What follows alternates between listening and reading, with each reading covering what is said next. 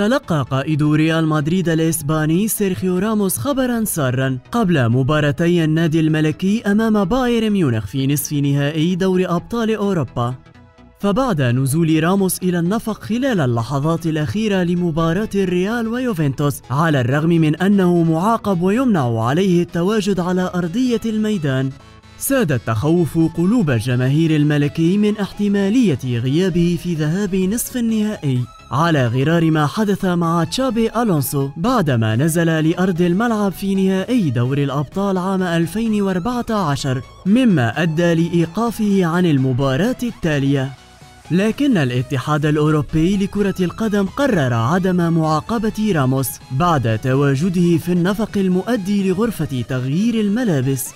ووفقا لما ذكرته صحيفة ماركا الإسبانية فإن الاتحاد الأوروبي استند في قراره إلى تقرير حكم المباراة الإنجليزي مايكل أوليفير الذي أكد أن راموس لم يصل أبدا إلى مستوى أرضية الميدان وبقي في الدرج المؤدي إلى الملعب. وبعد مراجعة تقرير الحكم فقد اعتبر الاتحاد الأوروبي أن القضية مغلقة. هذا وسيكون راموس جاهزا لخوض مباراتي النصف النهائي بعد استنفاد عقوبة الغياب عن مباراة واحدة بسبب تراكم الإنذارات.